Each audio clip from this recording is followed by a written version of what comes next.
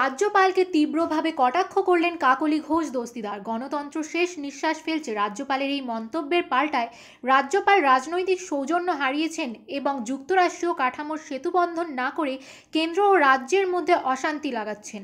এমনই মন্তব্য করলেন কাকলি ঘোষ দস্তিদার। কি বললেন তিনি দেখে নেব।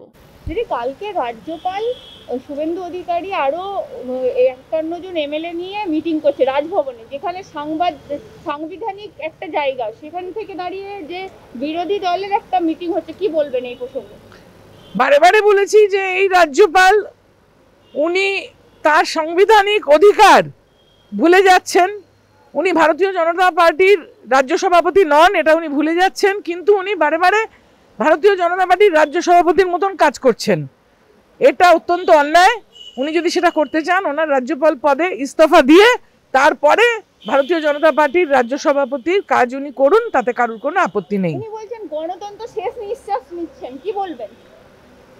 উনি রাজনৈতিক সৌজন্য হারিয়েছেন এবং উনি যুক্তরাষ্ট্রীয় কাঠামোর যে সেতুবন্ধনের কাজ করার কথা সেটা না করে কেন্দ্র এবং রাজ্যের মধ্যে অশান্তি লাগাচ্ছেন। দিদি দলত্যাগীরা ফিরে আসছেন।